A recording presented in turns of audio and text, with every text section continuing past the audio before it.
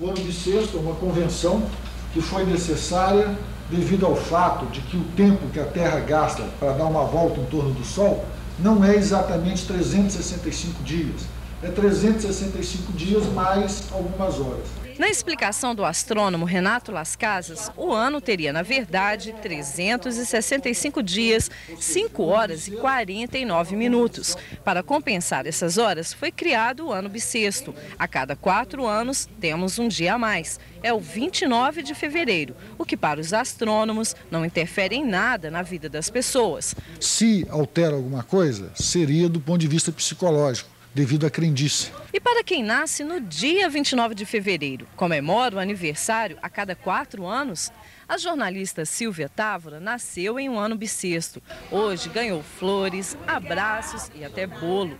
Para os astrônomos, a data não interfere em nada, mas para a astrologia, as pessoas que nascem nesse dia são mais sensíveis, poéticas, mas vivem menos e têm pouca sorte.